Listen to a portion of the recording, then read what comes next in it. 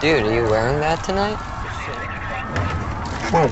You don't like it? I don't know. I mean, whatever. No, it's funny. It's me wearing it. How do they know what you like? Well, they know. I mean, you have a baby on board sticker on your guitar. I like Sheryl Crow. What? I met her once. She was quite nice. Everybody likes Sheryl Crow, man. Are you guys serious? See you later. Rated T for Teen.